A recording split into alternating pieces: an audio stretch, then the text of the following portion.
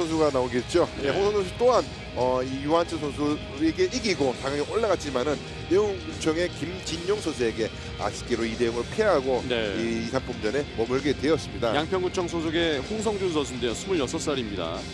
175cm의 신장이고요.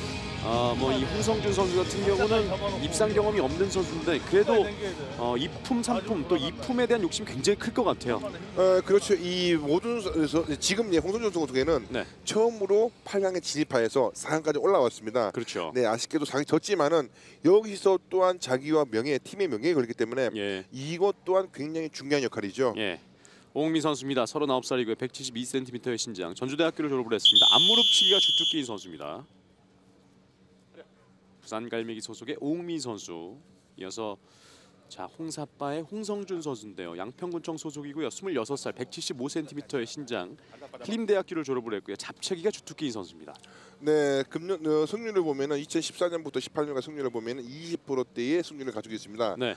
어, 하지만은 조금 이 본인의 기량만큼은 성적이 안 나오는 게 또 아쉬운 게 이 홍성준 선수인데요.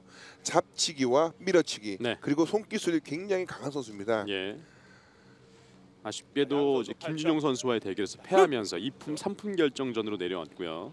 3판 2선승제로 2품과 3품이 결정되겠습니다. 경기 시간 1분. 첫판입니다.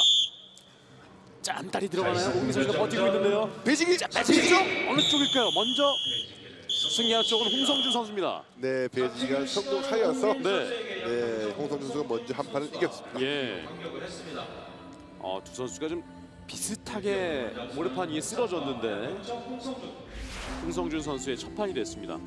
네, 그렇죠. 이 오홍민 선수 시작과 동시에 밀어치기를 붙다가 네, 상대가 중심이 돌리면서 네, 어깨가 먼저 닿이고 네, 상대가 넘어뜨리고 이겼습니다. 아, 결국 손을 예, 먼저 짚었네요. 예, 짚었군요.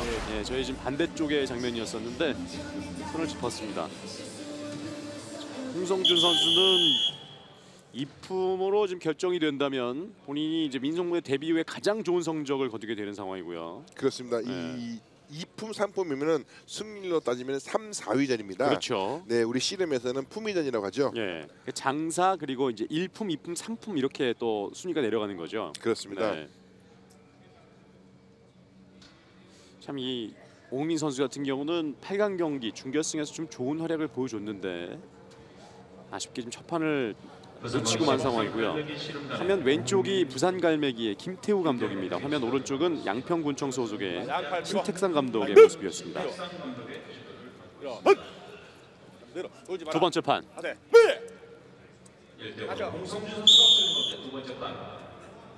임의 대결. 아, 이번에 또 홍민 선수군요.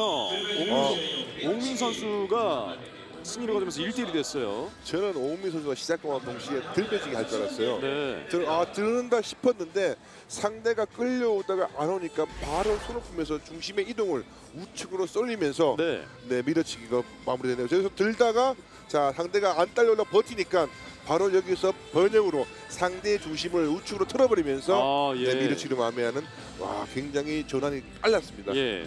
홍성준 선수가 또 빠지는 그 타이밍에 맞춰서 들어가는 오홍민 선수인데요. 네 그렇죠. 오미 선수의 들배지기들 버티려면 어떻게 됩니까? 중심이 뒤로 빠지거든요. 네. 자, 그 빠지는 중심을 느끼자마자 바로 우측으로 중심을 이동시키면서 밀어치기. 아, 굉장히 좋은 경기력이었습니다. 그렇습니다. 1대1이 됐습니다. 이번 판 승자가 2품으로 결정이 되겠고요. 패자가 3품으로 남겠습니다.